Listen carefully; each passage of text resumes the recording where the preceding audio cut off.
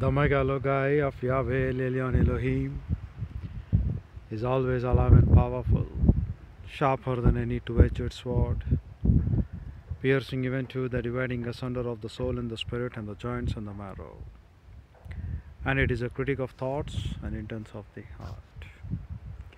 All scripture is God breathed and is profitable for doctrine, for reproof, for correction, and for instruction in righteousness, or training in righteousness, the man of God might be mature, thoroughly furnished unto all good works.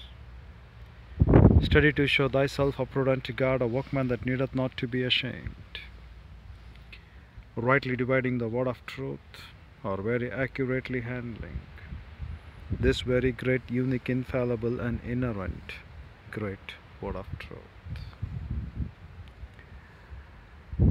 Glory be to my Yahweh El Elyon Elohim, the only Mashal Yahweh Elohim. The word Mashal meant to say the ruler, as sun rules the daylight and moon the night light. So, in all the affairs of all the nations, where psalmist could write for us to understand in Psalms 22, that my Lord, my rock, Yahweh El Elyon Elohim, is the martial Lord our God. As we noted several times in Exodus 15:18, the Lord our God shall reign forever and forever. That is the key for us to understand that we are serving the martial Lord our God, who has filled in this church age in all mannerism of the pleroma privileges for every individual believer in my Lord. The plero- pleroma privileges of politeuma 1 of the heavenly citizenship. The indwelling mentoring ministry of Lord God the Holy Spirit, the baptism of Lord God the Holy Spirit, the completed canon of Scripture, the bona fide gift of the pastor teacher to teach to us daily, as it is our duty and burden to carry our cross and follow my Lord daily. As it is the duty and burden of every individual pastor teacher to whom this bona fide gift has been given to lamad, to teach. One Hebrew word is equivalent to two Greek words, manthano plus didasko. And Bible doctrine constantly affirms and talks about in the Gospels by our Lord's instruction to make them disciples, the closeness which was been brought by Apostle Paul to tell. Everyone should be presented perfect and complete in the holy presence of the Lord our God, for which cause we strive and we labor, the special agonizomai labor of every pastor teacher. And for which cause in 2 Peter, Peter witnesses to Apostle Paul letters and says, Those who are unlearned, and the Greek word goes to tell amatates, which Christ our Lord our God says in Matthew 19:28 to teach us a lesson for us that every scribe will be instructed because for the paligenesia, which is again going to become the new world, the world of righteousness. As we believers in Titus 3:5, which goes to say, the new world, by believing in the Lord and Savior Jesus Christ, your soul is no longer the issue, but you have been born again, the Spirit. We're talking about the human spirit, we are not talking about the Holy Spirit of the Lord our God. The paligenesia of the believer in the Lord and Savior Jesus Christ by faith alone in Christ alone makes him to become a new creation. He is a kaine ktisis, the old things have been gone. The way how the new world will come has he answered in Matthew 19:28, again in Matthew chapter 12, 13 verses 39 or 42 and following, he goes to teach for us every scribe which has been instructed. Again, the word instructed is not the way how you can think that we have been given him some instructions to heed and to follow. No, the Greek word is matatoio. Again, it meant to say, if you haven't become the daily disciple for the word of the Lord our God, then you are no longer the technon son of Christ. Far less you could be the adult son to where the manifestation of the glorious glory of the Lord our God, not ending up in disappointing misery or vanity of futility, but telling to God the Father that we are here, that the creation is rightfully awaiting for us, and we are the adult sons of my Christ in complete maturity of the word of the Lord our God. And that's the player of Baltimore privileges given for us, and that's the work of every bona fide gifted pastor teacher to make you to be perfect and complete in all knowledge of the Lord's mind. There is no excuse for you. You may think you may have all infinite reasons to say, my ministry will be weekly ones, my ministry will be monthly ones, and that to every day, minimum one hour. Not for 30 minutes or 40 minutes or far less in your Sunday services. You may go back and look. You may find in the so called nominal churches being made by this man, according to the precepts and concepts of this man one hour. No. They don't even match for one hour. But doctrine says for us to understand the future events in the tribulation time of Revelation chapter 9. He gives a great warning for us from hour to day, from day to week, from week to month, and from month to year. And if we could calculate that for us, if we, though the day is not been written in Revelation 9, we can find from hour to week, week to month, and month to year, the four stages. But here for us in the church age, it is breath by breath being in the fellowship of Lord God, the Holy Spirit, to grow up in grace and the knowledge of Bible doctrine and become the matates believers of my Christ. And those who are unlearned, those who have not learned Bible doctrine, they cannot understand the gospel messages. What is that gospel messages which Christ our Lord our God has said? Every scribe it doesn't say every believer who comes, but he says every scribe whom I've instructed in Matthew chapter 13. The same thing in relation with Psalms chapter 22, what we were looking. In verse number 22, if you go back and look, the great word which has been used, I will recount. The English may not give you that essence, but in the original Hebrew it calls for us to understand that I shall recount, and the Hebrew word is safar. And that is what you can call them a scribe, a writer. As Christ our Lord our God instructs in Matthew chapter 13, a writer, a scribe. And for us given in this church age to be the believing kings and the believing priest. And by default, every believer has been given the work of ambassadorship. And what is the duty of believing king? Come back and look in Deuteronomy 17:18, which says, The one who shall sit upon the throne of the Lord's people, he shall make a copy of this law. And he shall write literally katab, the description work, the inscription work, the prescription work, and the subscription work, which we have noted long back in our tapes. If the pastor teacher doesn't describe to you the importance of becoming scribe and inscribe that upon your heart to be having that fear at least once of when we leave this earth, we should kneel down and write the Bible in the translation, whichever you may have, because you don't have time to look because you say the seed has fallen on the wayside, on the thorn side, or on the things pertaining to the rocky soil and yet you want to come like the Simony who has come to take the gift of the Lord our God and having no repentance, yet you went along to start the Gnosticism, thinking that believing truth or receiving truth is enough. Because with the multitude of his sorceries, he had a great fear upon them. And when Peter went along and he destroyed all the things there, they were absolutely for him no gain. Therefore, he comes with his money. Give me that gift, what you have. the people in the present Christendom come to pulpits to take the work of the pastor teacher to be replaced by their methods of sorceries to be called today. Inducing in the minds of them the fear of men, not the fear of the Lord our God. If it were for the fear of the Lord our God being introduced into their minds, they would certainly make them to write at least once the entire Bible they would certainly lead them to be the fellowship of Lord God, the Holy Spirit, every breath. They would certainly make them as Christ our Lord of our God said, if you servants will be equivalent to me, that's enough. Or like me, that's enough. Becoming like your master, that's enough. But in the church age, he says for us, you can do greater things or the works that I have done. Not symbolizing your miracles or healings or tongues, but symbolizing for us to understand the mental agony of his sufferings for Colossians 1.24, the part of which we have to pay. We cannot endure the vicarious sufferings of my Christ as he drank the cup for us. It is for us to go back to the church and make every believer perfect and complete so that they could get every thought into captivity for Christ. And that's what Katab meant to say. And the right duty of the pastor teacher is to describe them and to inscribe in their heart, mind, and soul that they have to know what is the importance of Bible doctrine so that they could come and prescribe for more Bible doctrine and they could subscribe for it. That's the real word which meant to say Katab.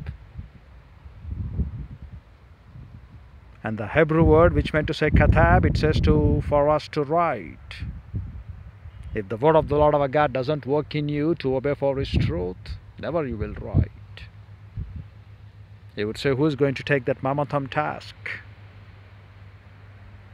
But it is Lord our God through us who is going to work for that mammothum task if you are loyal enough to pay your life when you will give your life to the Lord of our God after you die but Christ calls you brethren, adelphos, when you have been dead in your old sin nature in Christ and buried in Him. And if ever you survive, you look for the food of the word of the Lord of our God as your only survival for your inner man. As Jeremiah says, Your words were found, O Lord, so I ate them, and they gave joy to my heart. For a true believer in the Lord and Savior Jesus Christ, as we are reading the Hebrew word kaya, or chaya, C H A Y A H. The right relationship for every believer begins with the word of the Lord our God. And if we don't have that right relationship, then our life is waste. Your translations are the filth. Though you write for the first time in your translation, it is a filth. You have to come back to the original Hebrew, Greek, and Aramaic the second time for that to make a bridge between there is no way from man to God as mediator Christ our Lord our God. There is a bridge for you to pass through, and this bridge is the Hebrew interlinear, Greek interlinear scriptures. For those who are far off or not having master skill in Hebrew, Greek, and Arabic, like in my case. The interlinear, the transliteration, though it may be having errors, we'll have to look into that essence and go back and look into that original word which has been given. For example, what we read in Job. Lord our God says 3373 of Yahweh. Satan will say about Job, it is not 3373, it is 3372, one number being different, but you have a lot of meaning difference over there. 3373 calls for us godly fear. 3372 says obligated fear. It's like the emotional pattern of his consciousness say to, to say that if he doesn't do such and such things, he will be cursed. Therefore, he is fearing you, says Satan. But Lord our God says, no, he's having godly fear. And every believer says in Psalms 22 25, the super grace believer, they are being called as godly fear. And through this man, is going to pay the vast woes through the church, saith our Lord our God. And who they are, they will be given by God the Father. That's what John chapter 17 is all about. And we have a duty. The super grace believers or 3373 or the Yahweh believers who are having such fear to the Lord our God. We have our responsibility. Number one, how you could be like that. How Christ our Lord our God could call Job as his Yahweh fearing man. Because he said, Though he utterly slays me, then I will trust in him alone. Can we say that? We haven't tested the good gift of Holy Spirit which has been given for us. We have been said, Do not deceive it, do not crave it, do not squelch it. But aren't we deceiving him every day? Walking contrary to his rule, walking contrary to his magistrate rule, to be called more specific, governing rule. The overall king who rules as a governor. His rule for the church age is to grow up in grace and the knowledge of Bible doctrine, daily carrying your cross, and you yourself following my God the Father in heaven. Because it is not that someone will force you to come and follow, or neither the way where we have been telling to you every day. Opening our voice like a trumpet and blowing it for you. Be aware the enemy will come and attack. And let not the blood upon you will be accounted for us. Therefore, for which cause we are judging for you to give grace before judgment. And we are saying for you, be aware, be aware, be aware, take heed, take heed, take heed. It's a caution of warning for you to be aware of this great and unique spiritual life which has been designed for us in eternity past. This great and true unique spiritual life which did not exist earlier, neither will in the future. It's present for us. And once once you depart from this earth, either by death or rapture, because we, do, we even do not know when is our rapture, neither we know when is our death. Can you say to God the Father, I have fought a good fight, I have kept, finished thy course, I have guarded thy doctrine, I have honored thy word above thy name, and I have been there for me to fill always the treasure of the heaven in me. What are the details of this life that you want to enjoy above than the word of the Lord our God? the things when we go back and look on this earth, what do we find? Vanity upon vanity, says the scripture. And he concludes for us those who fear Lord's word and to obey him. This is the ultima ever given for us in the church age. Fearing God and keeping his commandments why we need to fear our Lord our God? Because He is the martial Lord of our God. And He is the governor of all the nations. Do you know if there is no sun, there is no life for you on this earth? If sun could be the daylight, and all will expect, particularly in my country, India, they go even to worship sun as God. If that is a creation, then how powerful will be my creator? And he says, I am the marshal, I am the governor, I am the ruler, I am the one who shall reign forever and forever. And I am given you my son, so that believing upon him, by in the being constantly in the fellowship of Lord God, the Holy Spirit, you can baptize into the burden of Lord and Savior Jesus Christ, and you can be the software believer, so that I shall recount you before the presence of my Lord, even he quotes in Hebrews 2.13. It is we, we shall write Bible doctrine. It is we, we have to be there for him to understand that we are the scribe. It is we, when we read the Gospels very specifically in Matthew chapter 13, he says, the scribe being instructed by me. And instruction is again matatoio, which is nothing but again the teaching ministry of the Lamad, what we go back and look in Deuteronomy chapter 4, which I shall teach. And here they explains again the one word lamad into two words of Greek manthano. One we have read about discipleship. The other one is didasko, the work of the pastor teacher. Making you disciples, making you disciples is what all about the Bible doctrine teaches for us in the church age. Making disciples. Not legalistical, holier than thou, self moron, self righteous believers, or those people who think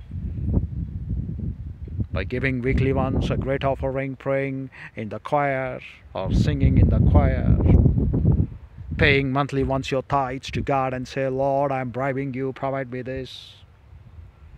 And doesn't he say for us in Matthew 17, Lord, Lord, you call and did not do the will of God the Father in heaven. Have you at least known what is the will of God the Father in heaven for you? Bible is not a book for you to be having in the terms as a guidepost whenever you have emergency to look whenever you require some mental courage to take from it. No. Bible is the very breath of your life dear brethren. It is the food wherewith without bible doctrine you cannot survive. If you do not know for what you have been kept alive, if you do not know the real purpose of you on this earth, then how you will serve my Lord, that great martial Lord of our God who has said, My word is enough. How many days you want to be like the weak Gideon? Who couldn't believe and he asks for a sign. And though Lord of a God, he's playing comics with him. That's what we can call. He gives a sign. Again he comes the second day. Show me this sign. again he gives him a sign. The great sign for him would be out of 31,000, he chose only 300 men for the battle and he delivered them. And the deliverance was also for such kind of a great thing to understand. The mind of this man is so much psychosomatic ill, ill, ill one, or into the terms called as hypochondria, imaginary illness one. The soldiers of that empire went along to fight each other because of the sound which caused them to think. And who's going to induce that mind in them? The fear how it would come. It comes when Lord of our God induces in them when His great glory will be blown. So when these 300 men just blew the trumpets, the angel of the Lord of our God did the work to show how frail this man is, to show how great he might be in his own terms but before Lord of our God, he is dust. And this mind thinks that he can take against the mind's glory of the Lord our God and say that he can counsel the Lord's mind and say the writings what you have written and kept in your 66 books are having lot of errors. He can go and tell this is also the same thing what we are having in our religion books. In our things we have seen greater things than this. And do you know who is that? From the beginning, murderer. From the beginning, the father of lies. He wants to duplicate. He has his doctrine of demons. He doesn't have the doctrine of the word of the Lord of our God. As we partake in the communion table, it has its own table of idol worship. Extreme moralness it wants to prove. Extreme legalism it want to teach. Extreme doing goodism it want to tell.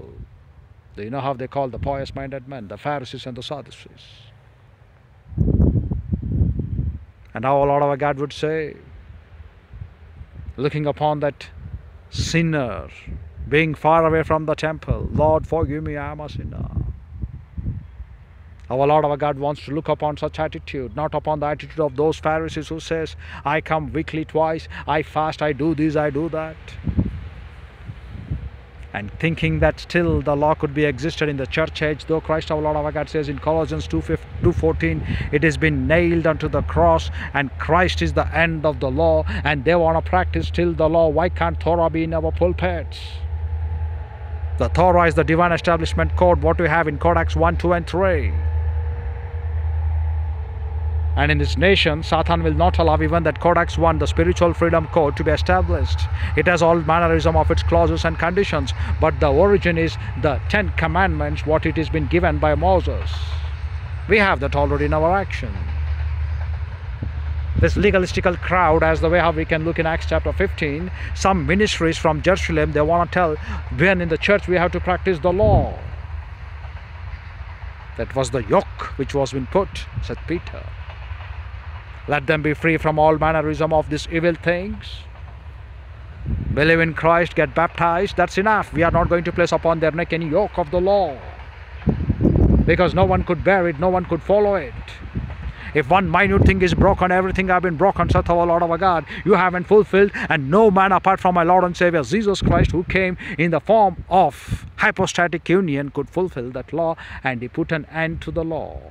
That doesn't mean the Old Testament scriptures are not needed. The Old Testament scriptures are the shadow, the reality is the New Testament. If there we can find shadow as a tutor could guide you for the reality, and if there is no shadow, then how you can know about the reality? And the 40 days of my Christ after his resurrection being seen by so many men in these 40 days, he wanted to inculcate into the minds of his disciples the prophet's teaching. And we find in the book of Habakkuk, as we find many things very exponentially expounded for us in a great mannerism of exposition of the word but they were dull to hear. The same things what Apostle Paul writes for us. As we go back and dig and look in the original Hebrew for each and every prophet, the way how they have written the 12 minor and the 5 major, you will clearly understand how important it is for us to go back and look upon the first five books. Every word, why they fail, because they were, did not teach the Lord's mind. And as He goes to write for us, cursed is the place. In the Hebrew school of thought, if there are no proper Bible schools, what they call as synagogues, to teach the Lord's mind every day in those pulpits. Those places have been called as karam. It is not how many churches you have. Karam meant to say put for destruction or kept for destruction. And if once in your place it has been written as Karam, where there is no proper exposition of the original languages of the scriptures in Hebrew, Greek, and Aramaic, the root cause is by those so called nominal pastor teachers. Who would come to serve for some pieces of bread or for some handful of barley, who would consider their belly to be their God, and who come to serve in fear of men, in fear of their family not in the fear of the Lord our God. The great problem in our church age, which we are facing day by day, not the work of lamad being introduced in our pulpits day by day. Proverbs 8:34 when it says, "Day by day, those who wait upon my doorposts," and to be more specific, morning by morning, in Zephaniah 3.5 when we read which goes to prove for us the attributes of the light of the word of the Lord of our God will be coming to expound us. He wants to explain to us and he tests us moment by moment says Job 7, 18 and 19. The bag and rega moment by moment, not less, even you can think the wink of your eye, more millionth of that moment by moment. He examines you because He has given every morning the attributes of His light. And have you been walking according to the integrity of the Lord of a God, or are you waiting upon the Master of the Lord of a God so that you can look your every detail of life by getting every thought into captivity for Christ, or are you just letting it go to vain? How many days more you want to stay away not to fight a good fight in the Lord? What is your life? Is it worth to satisfy your father, mother, wife, or children? Doesn't our Lord our God teach for us through our patriarch Abraham? Till the death of his father, he did not call him. And then, furthermore, it shows for us the details of life wherewith you are come here to satisfy. Don't deny the responsibilities towards your father and mother. Honor your father and mother, says the scripture. Neither you can call it as Corban, so that you can say, I've given everything to the temple, so that I cannot take care of you. No. Christ our Lord our God says the things that are to the world that has to be paid to the world, the things that are to God that have to be paid to God, that is Caesar to Caesar, God to God. And while you're paying the things to Caesar, be aware and take an example of Enoch, the way he walked with my Lord of our God. Nothing on this earth is far more important for you, though she may be the love of your century. Although maybe it's a worth of million of dollars for you to sign that contract. Not at the cost of Bible class, which you shall miss. Being taught for you every day in the original Hebrew, Greek, and Aramaic. And expounding your life to realize if you haven't become the technon believer says john 1.12 the sons of god the word what we use there is technon day by day coming to bible class. And if you don't believe that the word I will recount in the Hebrew is Psalms 22 22, when you go back and look in the original original Hebrew, it says for you safar, which is to become a scribe then how our Lord our God will count the praises of Him in the great assembly of the Lord, the halal, what you expound. And when we have in Psalms 22 22 halal to sing praises, to shine forth His praises as a radiance of His glory, for which cause He has kept us to be the light and salt principle on this earth. In Zephaniah 2 4, we have a great thing which says for us the noon light, the double light the first light, the grace of the Lord of our God. The second light through us, for which he prayed in John 17 21. not only to them, but I have prayed even for others who would come to believe through the word of these disciples or the word of the Christians to be called in the present Christendom. And they are the unbelievers. So it is no longer the way how our Lord our God will come practically and teach. It is what we are, His workman on this earth. It is what we are, His vessel on this earth. It is what we are to be an instrument of His voice to be put out, provided when we are not deceiving the mentoring ministry of Lord God, the Holy Spirit, neither grieving Him nor squelching Him. And that's what many people don't understand about the simple logic. He did not spare his own son on the cross to say and teach for us a lesson, My Lord, my Lord, why have you forsaken me? He was not sin, but he was made sin on behalf of us. And they're so pure on the cross that they left him, they couldn't see the sin. And that's the pain of agony what he prayed. Even the sweat became droplets not for the cross, not for the things that is going to suffer for you and for me, but for the thing that is, lo- is losing the fellowship with God the Father and Lord God the Holy Spirit. Because the way He has made this man to answer this angelic conflict in the battle of Eon, to pull down every stronghold that goes against the knowledge of Bible doctrine, and make you and me to be qualified to sit with him in his positional sanctification and in his experiential sanctification, proving to honor his word above his name, and making our lives to understand. Those who overcome him, I will make him to sit at the throne what I have prepared. I will make him to become the pillar in the temple of my Lord. Those who overcome and in this great battle of Eon, he wants everyone to win. Therefore, he says, They have kept thy word. John 17 6. It's in the past tense. It's no longer in the terms where you can think, you can enjoy the time on this earth.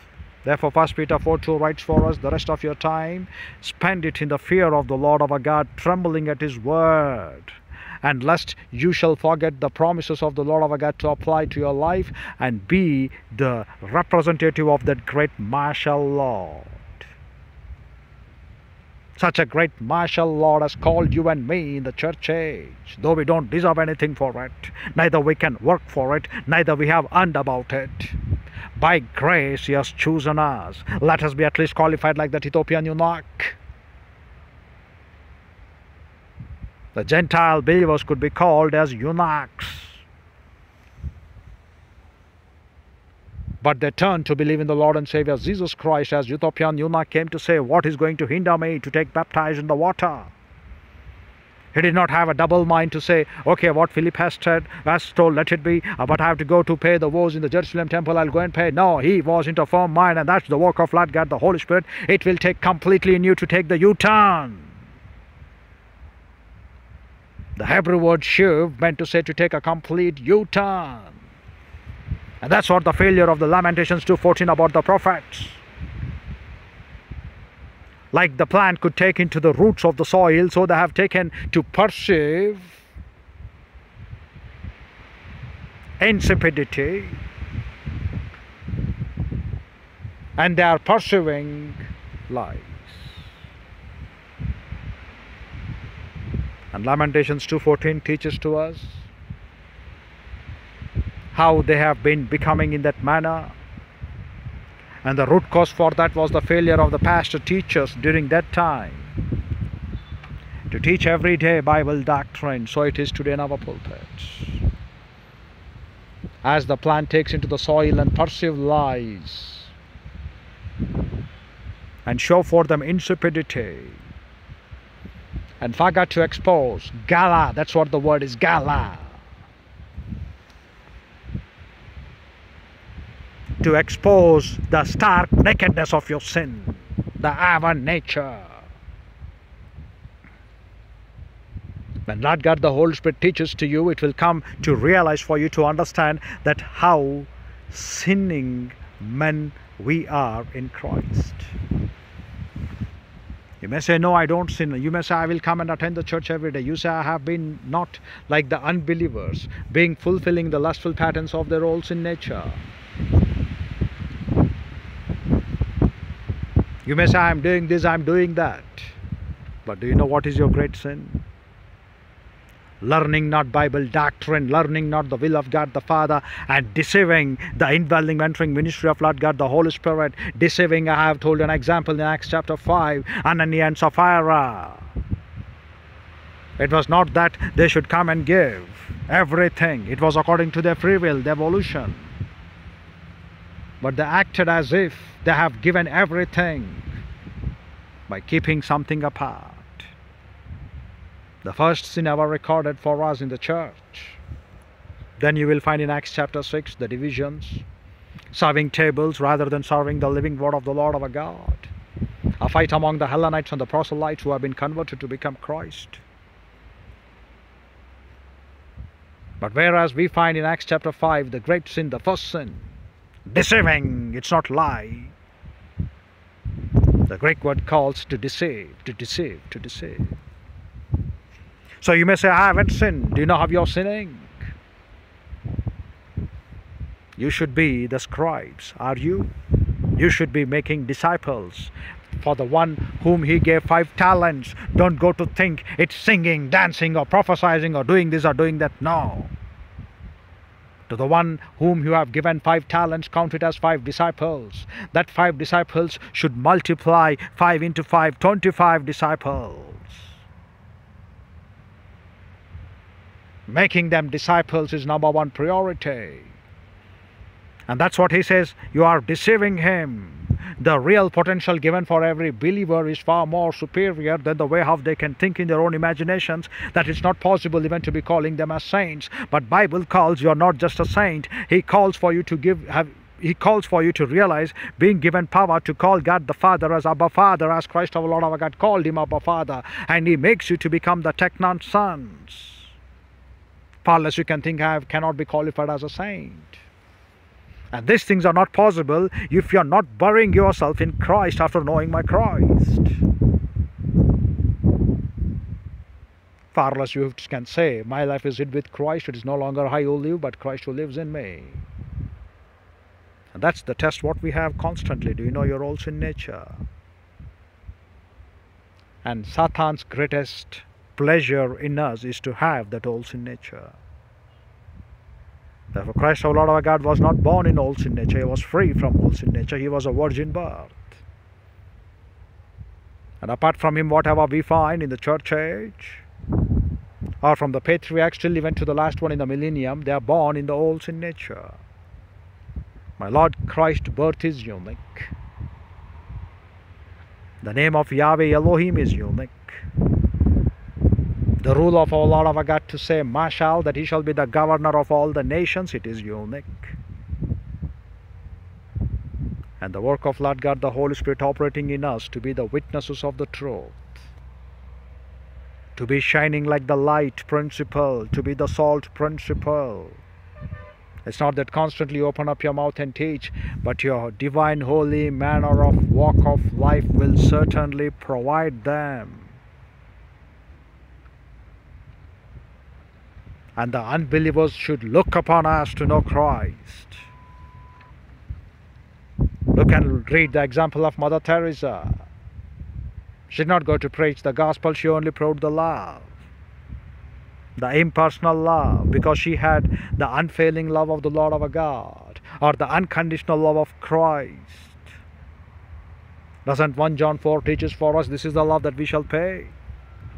What you shall do, lay down your life to your brethren, lay down your soul to the brethren. And don't you know how we can lay down? Because we have overcome the world. How you can overcome the world? Our faith, what it is. Believing in the Lord and Savior Jesus Christ, you have overcome the world. What a simple fact it is. It's not just that we quote, not just make a paper and try to preach about these things. Just imagine believers have overcome the world. What is there in this world? Lust of flesh, lust of eye, pride of life. In the Greek it goes epithumos of your flesh. And the epithumai in the Greek goes to say the pathos condition of your soul. The pathos is nothing but the diseased condition of your thinking. Lord our God wants to remove that diseased condition of your thinking by inculcating in you the alive and powerful word. And when we are having our relationship with Lord God the Father through His Word for a great extension in the Lord's mind, then what it is that can hinder you? Dear brethren, remember we are serving the true consuming jealous fire, the living Lord of God, the only Monon Alathenian Theon the only true Lord of God. To add for it anything could be the only Zao Monon Alathenian Tian. The only alive, alive, it is not Bios but Zao. The only true Lord of our God whom we serve. That's what Peter got into position in the book of Acts. He has seen the resurrection Christ. He was been forgiven. And therefore he says, Satan wanted to sift you out, but I prayed for you. When you convert, come and strengthen your brother. And that's what he did. They counted worthy for the suffering of the Lord of our God, though the Roman soldiers were being taken care by the by the chief priests of that time of Pharisees and Sadducees. And dear brethren, do you know what it is? If we are not able to give number one priority to learn Bible doctrine, never you will know what is this true life in Christ. The Zao life in the Lord, the alive and powerful life for us. If we live like Christ, if we die, great profitable for us. Therefore, dear brethren, as we were looking upon the Hebrew word chaya, we shall look again the explanation of it, but after a word of prayer. Infinitely divine, Holy Father, Yahweh El Elyon Elohim, we are thankful for this privilege which you have given for us. As we are going to study these things, enlighten us to be constantly in the fellowship of Lord God, the Holy Spirit, to learn, not only to peripata or in Sophia wisdom, but also to star icon, march in the indwelling mentoring ministry of Lord God, the Holy Spirit, breath by breath, to learn the apocalyptai of epignosis knowledge. In Christ's name we pray, Father. Amen. So, for a believer, the true life begins with the word of the Lord of our God. Deuteronomy 8 2 through 4. The 40 years they have been called to come to follow my Christ in the wilderness. The garments were not waxed, neither the feet was not been calloused and what we look, the feet being not collapsed, it meant to say for us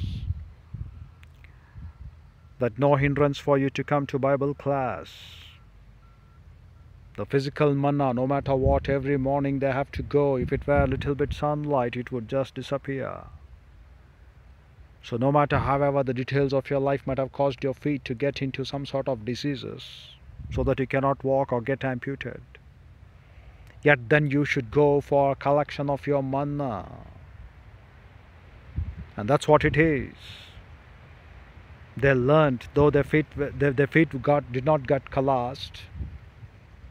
So today we apply that to our principle. No matter what, you have to come every day to Bible class. Though there is a million dollar deal, you just throw it out before the infallible and inerrant word of the Lord our God. Because the treasures of this world, what you're going to, what you're going to earn and preserve, here robbers and moths will eat off.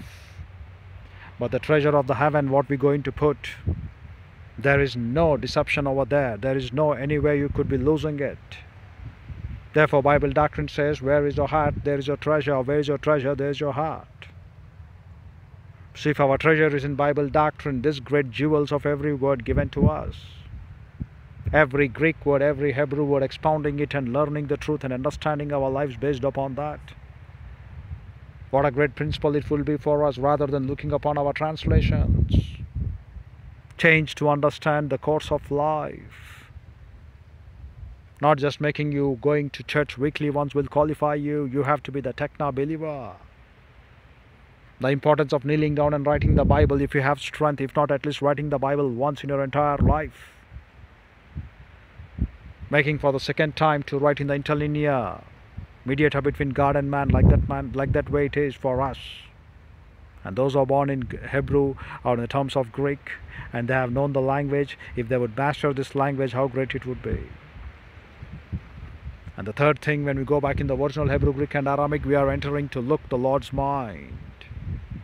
What did He really intended in the case of 3373 of case of Job? And what Satan says 3372.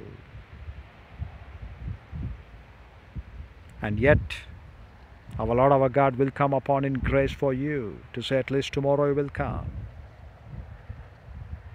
And He gives a warning discipline to wake up he gives you intensified stage of discipline if you don't wake up. The five cycles of discipline being explained in Leviticus 26. And if you don't come to realize in those terms, He gives you sin unto death. Is it necessary for you to die sin unto death in your sicknesses, in your weaknesses? How many days more you want to be in casualty department? And yet you say, I am serving the Lord. Come back and look into this battle of Eon, how our Lord our God has designed us. He called us to be immortal till the work of my Christ, our Lord of our God, has been done on this earth, and you could be like immortal the way how Apostle Paul believed till the work of my Christ could be done on this earth by daily doing Lord's will. If ever you survive, it is for Lord's will. The infallible and inerrant word of the Lord our God is so alive and powerful. It will certainly empower you to be constantly alert, to know from where and to pursue from where. You're falling down by giving your thoughts to the things of this world and not able to get every thought into the knowledge of Bible doctrine.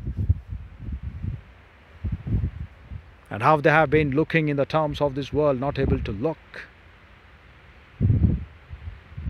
the real, infallible, and inerrant Word of God, which is your life. Therefore, dear brethren, Deuteronomy 8 2 3 4, applying for us even to collect today our spiritual manna daily, it gives for us in that Hebrew word, chaya.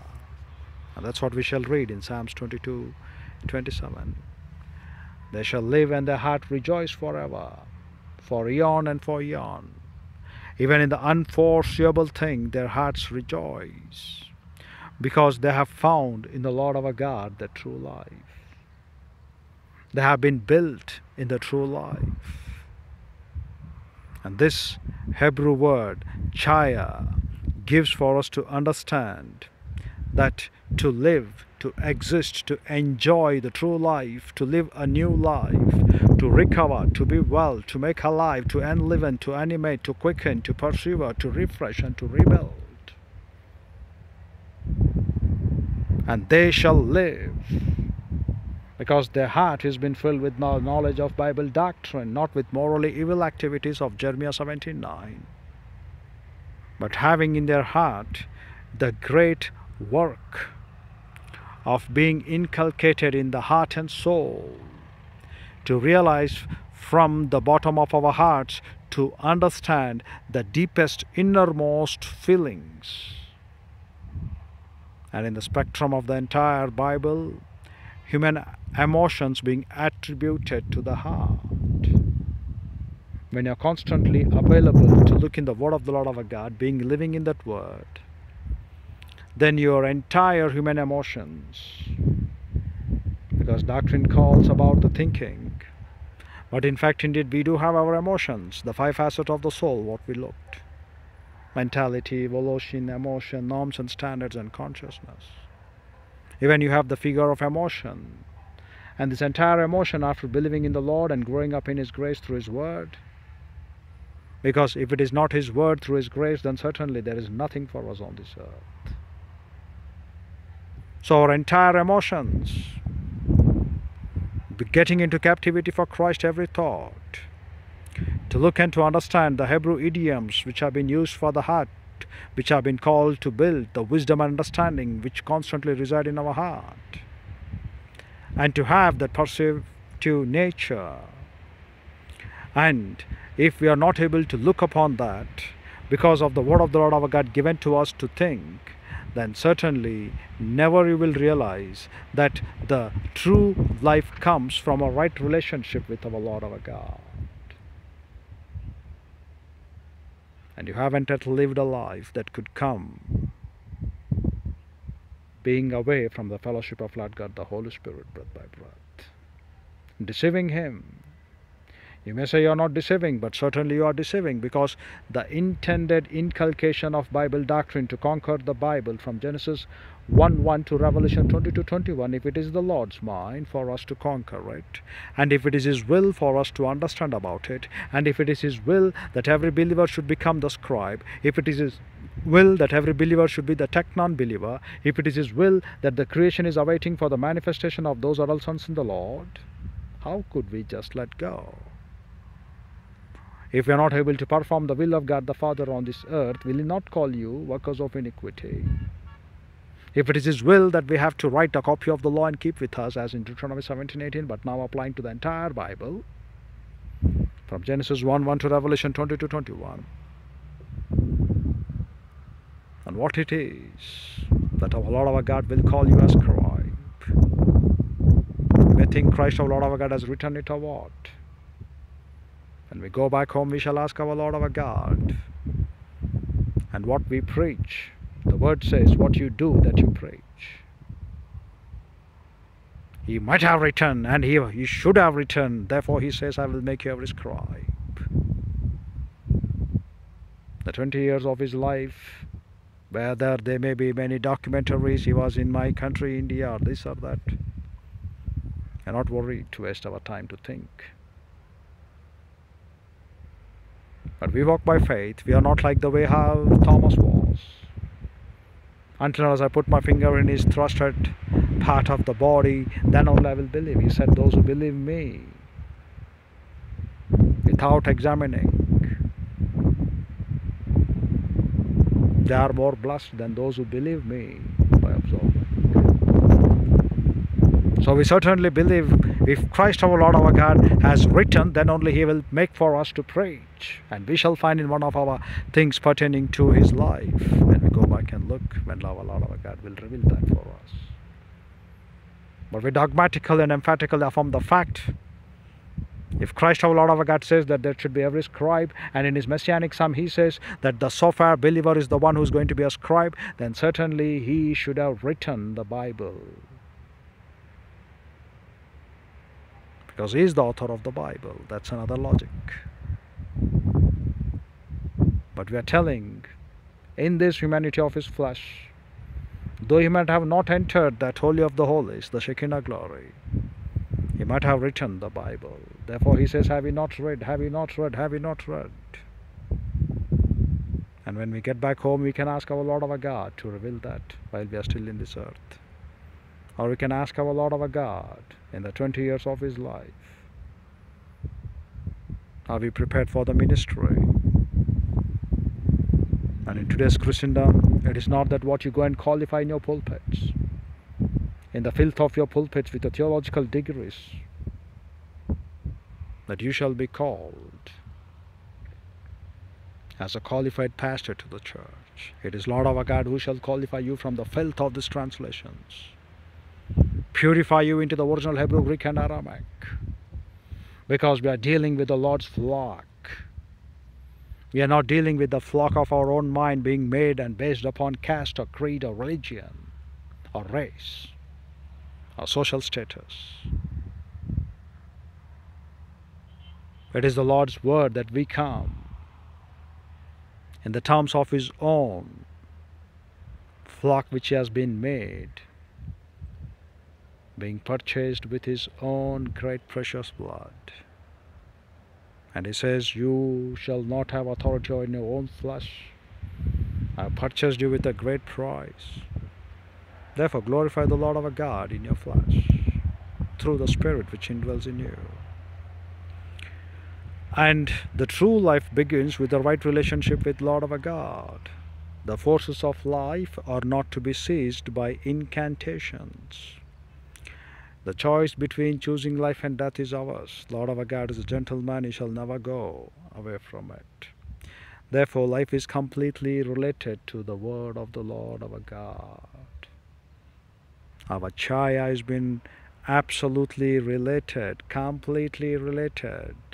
Therefore, we gain our very life from the Lord's word.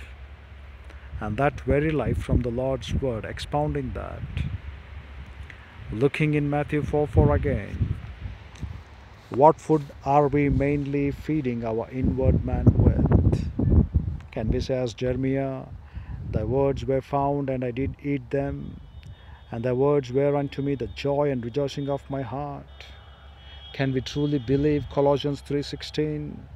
And can we say, as the word says, that it has to be richly dwelt among us? Has it been richly dwelling? Certainly, when the Lord said that man shall not live by bread alone, but by every word which goes out through the God's mouth, Lord God's mouth, it was not only the good answer for the temptation, but a deeply felt and practiced answer, which is Him, the perfect man, who had fast, fasted 40 days and 40 nights, who had power to do something about it in His perfect will, but He waited upon God's word. Today as well, we may have the temptation in our lives to be equally yoked with unbelievers to grieve the indwelling mentoring ministry of Lord God, the Holy Spirit, according to the standards of the lustful patterns of our flesh, the epithumai of the flesh, the epithumai of the eye, and becoming vagrant bragadakai. These things may be great for you, but the word of the Lord our God teaches for us. Our entire life is purely dependent wherewith we should be upon God's word. What the word says, that's the ultima. We are not here to experience or experiment it. We are here to believe and receive. If we have been said to put upon the new clothes at the moment of salvation by throwing out the old sin nature activities, which is Andikai, Sunekai, Hosetis, Thessalatia, we are not here to go and experiment it. We are not here to go and put it into practical life and see if I be like this, what it will be. If I be in the old sin nature, what it will be. Those are the men who don't really fear my Lord. And it's not just fear, but tremble. Tremble is nothing but shaking. If you see any sudden incident which could give you a shock, which can cause you that even your life would be shattered away like that. The way have you fear, that's what the Hebrew word meant to say for us, Karad in Isaiah 66, 1 and 2. The one with a broken heart, the one with a contrite spirit, the one who shall tremble, tremble, literally shaking for the believer's life after believing in the Lord, every word of Him should be for us as a trembling one. Fearfully obeying Him, fearfully walking in His truth. Trembling, trembling, trembling. And we know very well the greater of your life which you don't believe in the Lord's mind, certainly it will affect not to tremble, but to say, deny his word. Because Satan is constantly waiting you to sin. It's not just like the tree what we had in the in the Garden of Eden. While they were going, they might have looked upon that tree or thought upon that tree. But that old sin nature greater than the tree is in us. Getting one thought out of the word of the Lord our God, not depending upon His word, will certainly make you to enter into lies. Will certainly cause you to not to believe the truth. And will certainly make you to realize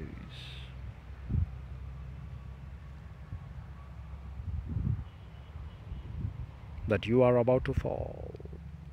And if you have been tempted, don't say you have been tempted by God. Lord our God is not a man who tempts you. It is the evil that is in you which is going to tempt you. Be aware of that evil. Look upon the Lord's mind, consider upon his beauty, and walk in the fellowship of the truth. So, in his perfect will, he always waited upon Lord God's word. And what is the lesson for us? It is to be occupied with the word of God.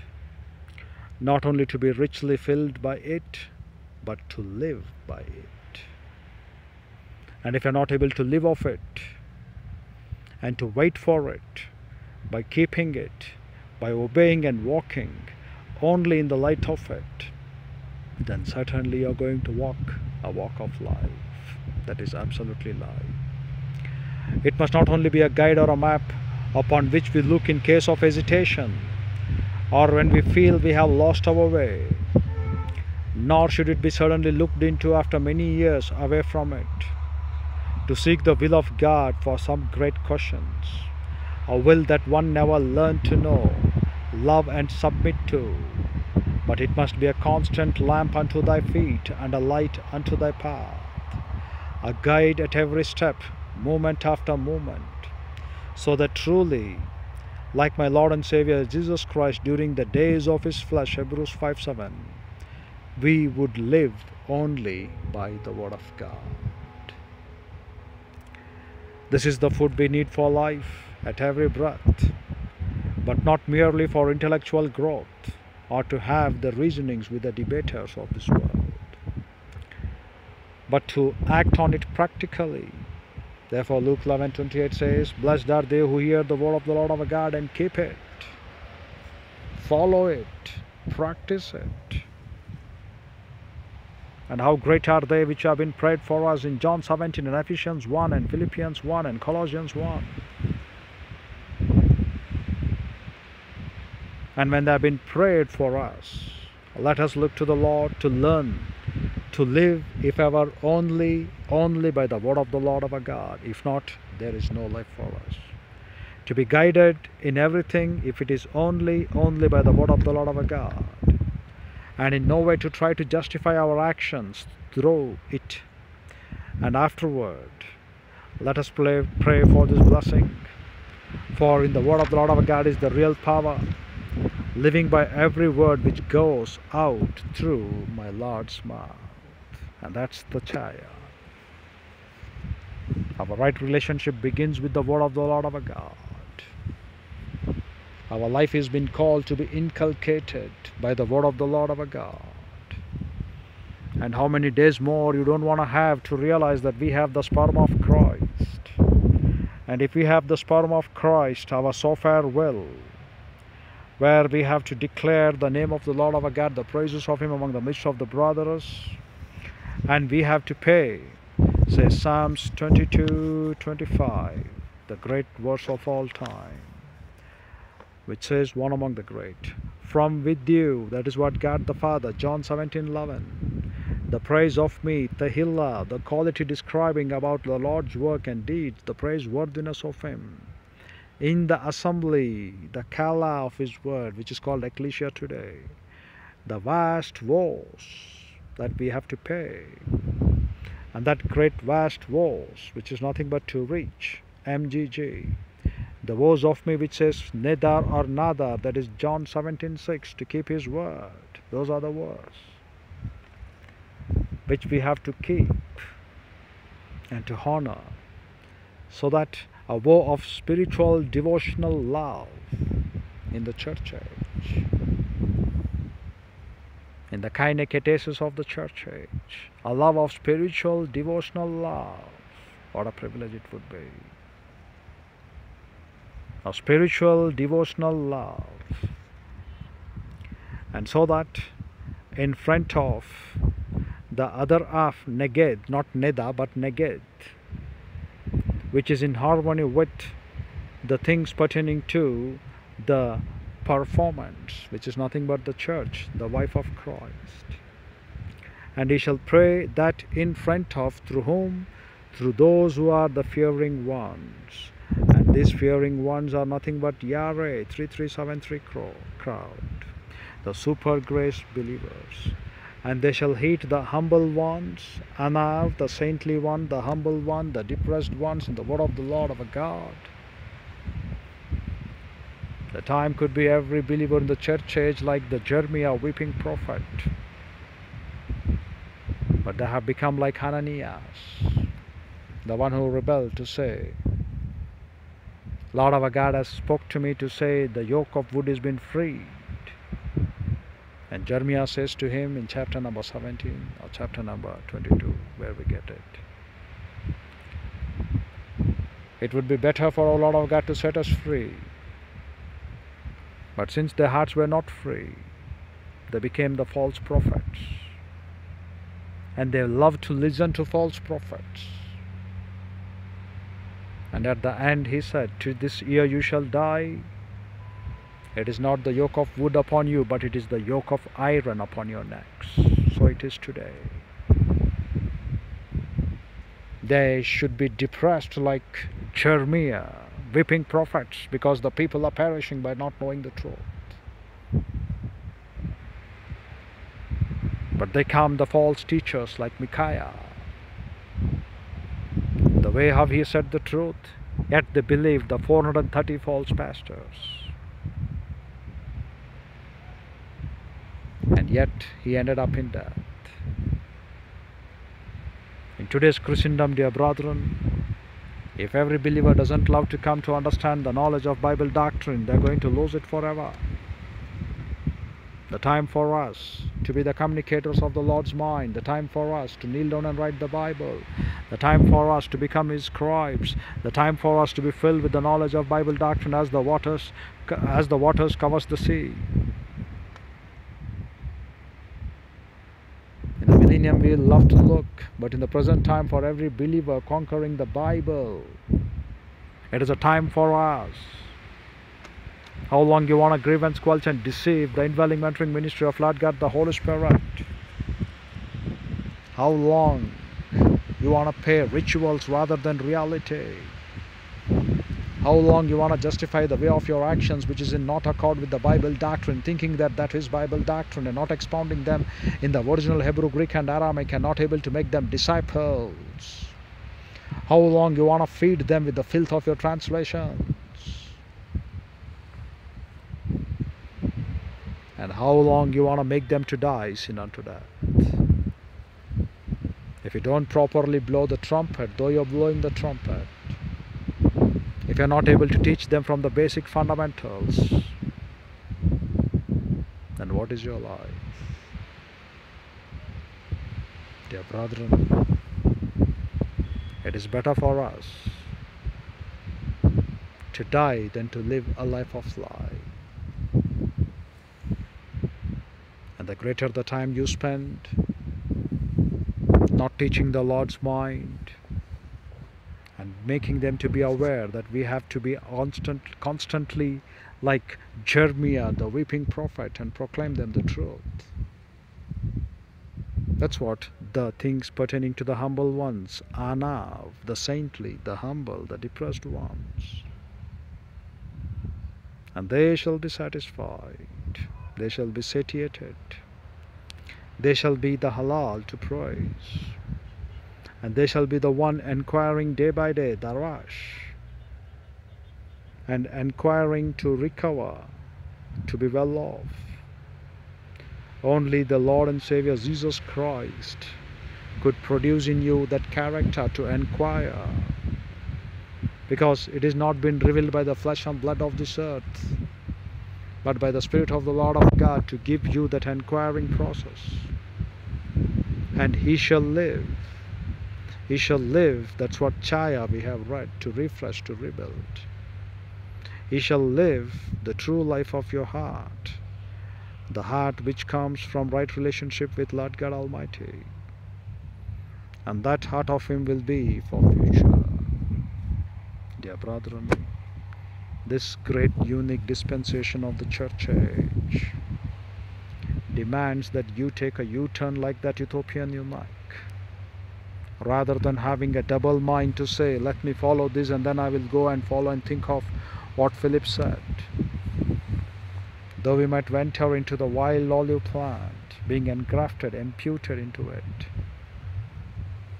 let us be aware that though we have been taken into the terms of that engrafted wild olive plant into the original olive plant and he did not spare the original branches of that olive plant and he cut them off and he placed us there being engrafting that his word though we may enter like the ethiopian eunuch we shall be like the centurion cornelius the centurion who waited upon the lord's mind to do the righteous will and from there on, many Gentile believers followed the ministry of the Lord God, the Holy Spirit, believing upon it. So shall it be for us. And if you're not able to look, then it is your life. Have the decision nature like the way Ethiopian eunuch had. Come back today for Bible class. Take up your cross and come to Bible class every day. Follow Him. Look upon the Lord's mind every day and follow Him. Nothing on this earth for us to see the things that are on the above is far more important than you can think the things on this earth are very are very much important to look. The things that are of the above, we look upon that the ano, the high calling of the Lord's mind. That's what we have been here, kept for the Lord's mind. Think over these issues, dear brethren. Life is too short. The responsibility laid down upon our shoulders is too large. We have our Marshal, our Lord, our God with us. The one who reigns and rules forever. He has chosen us to be for the praise of His glory in His grace and how it is that we can let go. By not having a right and true relationship with that great Lord God the Father, for which cause He has made us to be alive on this earth, and learn His mind, His will. Every breath that you take, the grace of the Lord our God being bestowed upon us. If we are not able to make it up to the standards of the Lord's will, you're going to lose it forever. Your life is not worth. Think over these issues. We need to answer for every grace being used, every word of unworthiness not producing in you the character of Christ. Therefore, not many men to become preachers. You have a tough time. We are not worried about the double honor. We are worried about Lord's honoring His word. We are happy with what we are. We are content with what we are. To expound His mind every day is the only burden laid down upon our shoulders. As long as we have breath in our nostrils. Think about these issues, dear brethren, as we shall come back and continue tomorrow. With our headboard and eyes closed, the closing moments being dedicated to those who are here without Christ, without hope, and without eternal life inaudibly telling to Lord God the Father that you believe upon my Christ, my Lord, my my That is the itself you shall have this eternal truth. This eternal truth for is for very simple. Believing Christ, you shall be saved. Whereas for the believer, the greatest matter is to grow up in grace and in the knowledge of Bible doctrine, wherewith you shall learn to acquire to possess to know the truth, and the truth shall set you free. And for the pastor teacher, the greatest merit is to kerusso ton logon, herald the word in season and out of season, because of the diamarturomai witnesses where we have been called. The number one diamarturomai witnesses in the Trinity, followed by Bible in our hands. And number two diamarturomai witnesses, our hearers. If there are no hearers, dear brethren, not worry besides nature, the entire angelic host will be our witnesses. But what is our work? Our work is to rightly divide the word of the Lord our God, no matter however the chips may fall. Dear brethren, which you you decide. Either you want to be in the martial power of the Lord our God, or you want to enjoy the details of this life by seeking your pleasure in the things pertaining to this earth. and not able to give number one priority to get every thought into captivity for Christ. And nothing on this earth is more important for you than to gather the Lord's mind, the daily portion from the golden pot of His will. You may gather your physical food, you may gather the needs of your physical flesh. And if you haven't gathered today the spiritual food of the Lord, you're not having the right relationship with our Lord our God. And you're just worshipping Him for the sake of your needs on this earth. As First Corinthians says, how worst believers we are, only for the sake of the details of this life we believe upon Him to be as our God, and not to consider the things pertaining to your eternal life. The things pertaining to your eternal life is a spiritual food.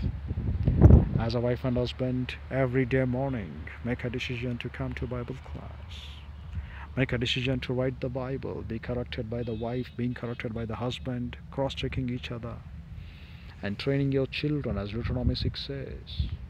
When the time will come and they ask you, Lord, what are the things of the Lord God? Then what is your face to tell? You should be in a place to tell them the mighty deeds of the Lord our God. But first, not just referring back as a guideline, but practically living of it. Living the Word of God not L E A but L I V E I N G. And that's what living into the Word of God. How glorious and marvelous is our entrance into that Word. Because of that great martial Lord of our God. As 1 Corinthians 2.14 says, leads us triumphantly at every place we go to spread the fragments of His knowledge through our lives Through the holy manner of life that we walk through. Don't waste your calling, walk worthy of your calling. We shall come back and continue tomorrow. Father, what a great privilege it is for us to have fellowship through the word. Father, we pray that Lord God, the Holy Spirit enlighten us by this tape which are given to us. So the message of us to truly understand, O Lord, it is not just we conquer and inquire into the word, but make our hearts to be constantly live the Chaya life in the unforeseeable things which are given for us through the mystery doctrine, and make our hearts to be constantly being rich in the word of the Lord our God, and to live in it. And apart from that, we don't have any other thing on this earth. Because, Sovereign Lord, the true health, the true issue always is Thy word. The true eyesight is Thy word. The true life is Thy word, as you said in Proverbs 8. Those who love me love life. Those who hate me love death. So therefore, Father, help us to constantly be in Thy fellowship. And what else we can ask, O Lord, than to be one word grateful for Thy grace being bestowed upon us, and much more grateful for us and the privilege given to us to look upon grace upon grace. In Christ's matchless, peerless, gracious name we pray, Father. We pray, Lord God, the Holy Spirit and enlighten and challenge and bless them who have believed in my Lord to understand Thy grace. In Christ's name we ask, Sovereign Lord.